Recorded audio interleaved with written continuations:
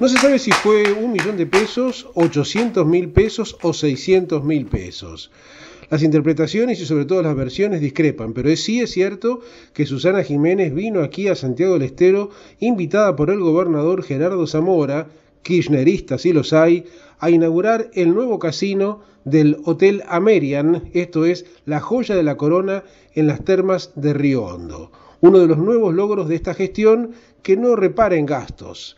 Lo impresionante, cuando uno advierte cómo se maneja la vida de la gente aquí en Santiago del Estero, es hacer de este hecho algo más que una cuestión de farándula. Porque efectivamente Susana Jiménez vino invitada por Zamora, lo hizo en un avión privado, se quedó muy pocas horas y su sola presencia era dar por inaugurado el Museo del Automóvil, uno de los dos que hay en el país ahora junto con el Museo de Balcarce, hecho en memoria de Juan Manuel Fangio bizarro, extraño, contradictorio y ciertamente muy enervante, en una provincia donde se pagan los sueldos más bajos del país, en una provincia donde el 80% de la población de una u otra manera vive del Estado, una provincia cuyos recursos son financiados en un 90% por el Estado central.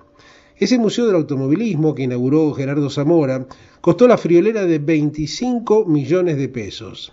Pero esta no es la única rareza de Santiago del Estero.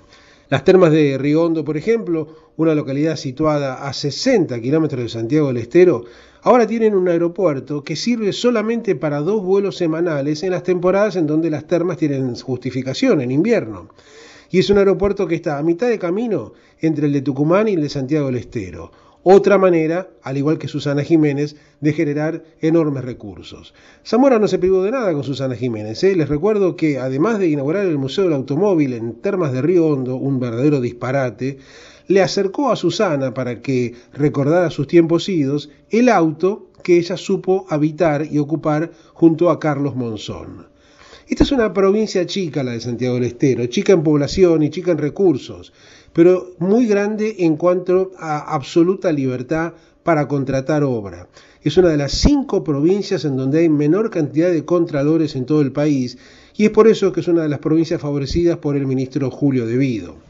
Estos hechos hablan de, de una provincia culturalmente muy problematizada, en donde normalmente ha votado no más allá del 52-54% de la población, mucho miedo, desde luego, mucho control del Estado y efectivamente una enorme verticalidad que hace que los propios medios de, de prensa de Santiago deban pedir autorización para prácticamente todo. El caso de mi presencia fue en ese sentido muy sintomática. Si bien es cierto que la casi totalidad de los medios, por no decir todos, me han recibido, de alguna manera el código del periodismo es que se puede hablar todo lo que se quiera de Cristina y del kirchnerismo, pero de lo que no se puede hablar desde luego es del gobernador Gerardo Zamora.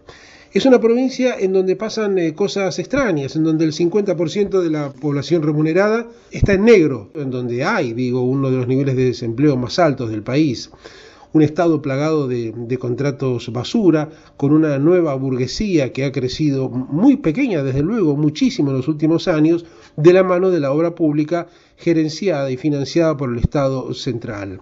El propio Zamora se mueve, va y viene de Buenos Aires todos los días prácticamente, cuando quiere, en todo caso, en un avión privado, y todo el lanzamiento o el relanzamiento de Termas de Río Hondo, el autódromo, el museo, el aeropuerto y el hotel, se han llevado no menos de 500 millones de pesos.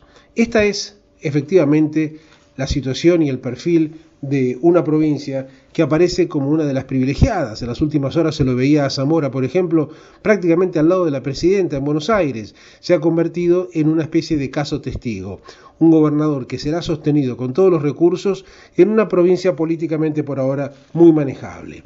Claro que las aspiraciones de Zamora son poco menos que infinitas. Ahora ha confiscado un predio formidable, una reserva natural urbana de la Universidad Nacional de Santiago del Estero, que lo manejaba la Facultad de Ciencias Forestales, a los efectos de otra gran obra, de otro gran exceso de megalomanía y de faraonismo, un nodo turístico con una especie de tren de la costa en un lugar que era un verdadero lujo de la preservación de la naturaleza aquí en Santiago del Estero.